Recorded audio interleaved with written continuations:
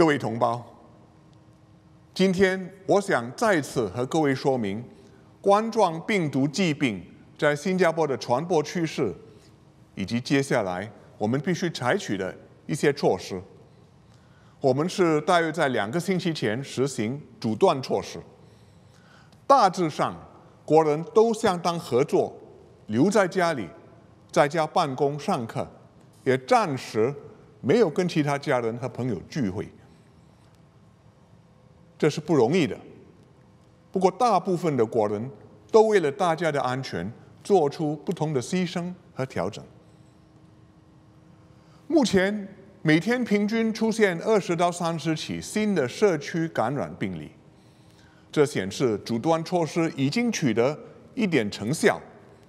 谢谢大家的合作。如今冠状病毒主要是在客工宿舍传播。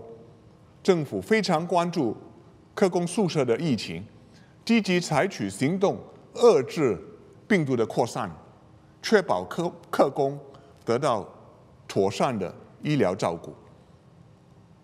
我很欣慰，许多社会团体和爱心人士都伸出援手，筹集善款和物资给我们的科工朋友，帮助他们度过这个非常时期。另一个我们需要关注的情况是，社区感染病例中还有不少患者与其他病例没有关联。我们不知道他们如何受到感染，或是和谁接触了。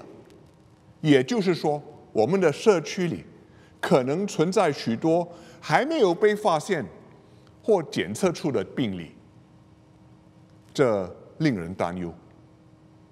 因此。我和政府跨部门工作小组进行了讨论，我国接下来应该怎么做？我们只有两个目的：第一是让社区感染病例大幅度减少；第二是确保客工宿舍疫情受到控制，以及没有扩散到社区。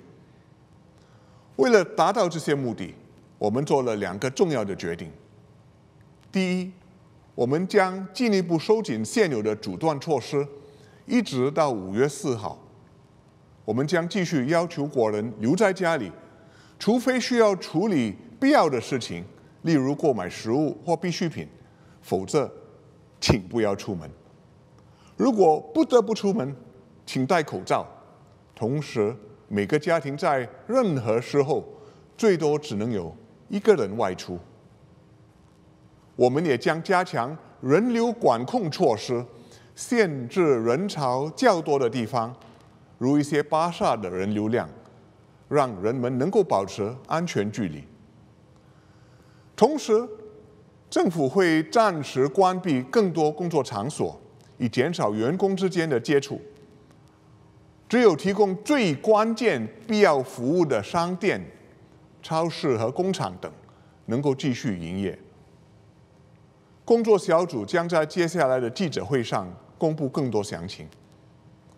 我们希望这些新措施有助于大大减少社区内的传染。可是从目前的疫情来看，我们应该无法在五月四号达成之前预定的目标，完全解除阻断措施。因此，我们做的第二个决定。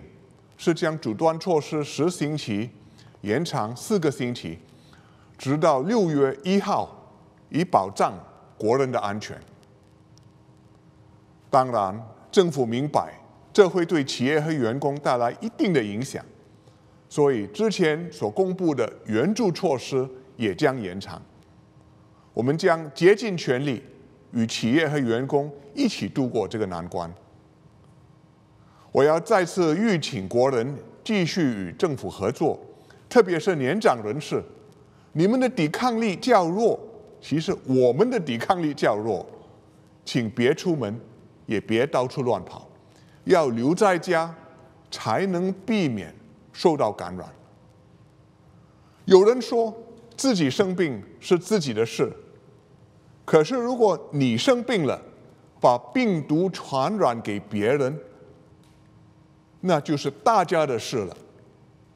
所以，请大家不要轻视、轻视这个病毒，认真对待以及遵守所有防疫措施，让我们都负起社会责任，保护自己，也保护家人。